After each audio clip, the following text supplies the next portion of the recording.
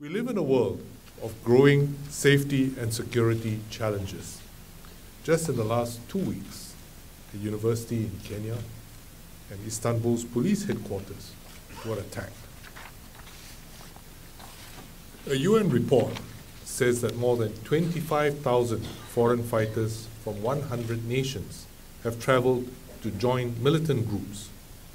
The heightened terrorism threat, including self radicalized individuals, poses serious risks to the safety and security of every one of our countries. We also see a stronger nexus between organized crime and terrorism as criminal networks exploit connectivity and technology to globalize their operations. Cybercrime is becoming more prevalent and pervasive, costing the global economy an estimated $400 billion a year.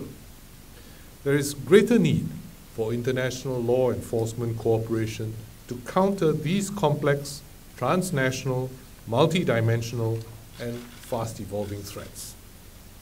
Interpol, which was founded more than 100 years ago, has played an important role as the world's only global law enforcement organization. Since the September 11 attacks in the US, Interpol has taken significant steps to build capacity and deepen cooperation against new and emerging threats. For example, the Stolen and Lost Travel Documents database helps member countries secure our borders against criminals using fraudulent documents. The Interpol Foreign Terrorist Fighter Program leverages Interpol's databases, notices, and information sharing networks to track, trace, and assist member countries to apprehend terror suspects. These Interpol initiatives have proven very useful for law enforcement operations. Singapore is honored to play our part to support international law enforcement by hosting the Interpol Global Complex for Innovation, which is officially opened today. I see the IGCI contributing to international policing in three key areas. First, the IGCI in Singapore will strengthen Interpol's global presence by complementing the General Secretariat HQ in Lyon, France, as well as its existing command and coordination centers in Latin America and Europe. Having a significant presence in Asia in, allows Interpol to disseminate real time alerts and coordinate operational responses around the clock and around the world. These alerts will allow countries to be better placed to stop transnational security threats, including fugitives and the movement of illicit goods across jurisdictions. Some examples of this were painted by Secretary General earlier in his speech. Second, the IGCI's focus on innovation will enable Interpol to develop and use advanced tools and training techniques to build capacity in member countries to tackle emerging criminal threats. The IGCI will collaborate with research laboratories, academics, as well as private and public sector players to develop innovative and practical policing solutions against cybercrime which can be tapped by member countries. Police and law enforcement agencies in this region can access Interpol's tools and programs through the IGCI to train and equip their officers to combat these new and emerging threats, thereby enhancing collective regional safety and security, and indeed around the world. Third, the IGCI can use Singapore's location in the heart of Asia to reach out to the rest of the region and beyond. The IGCI will help Interpol to form new partnerships with law enforcement agencies, think tanks, R&D startups, and the private sector in Asia.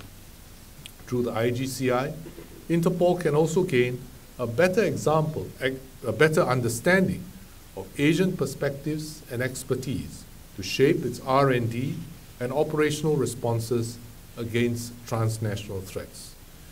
We also hope that the IGCI will catalyze the formation of new links between East and West, North and South in the area of law enforcement. We have already seen some early signs of success.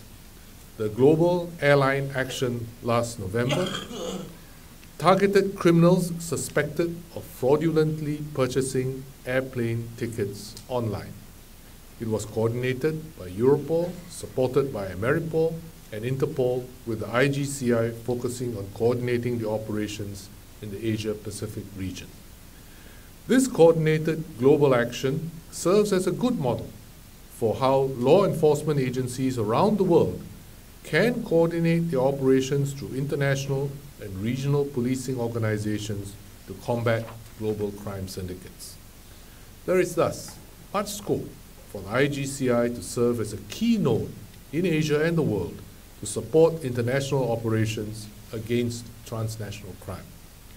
We look forward to more future collaborations in, de in developing new capabilities building capability and capacity, and conducting joint operations between law enforcement agencies in the Asia Pacific region, as well as with Interpol and other regional partners through the IGCI.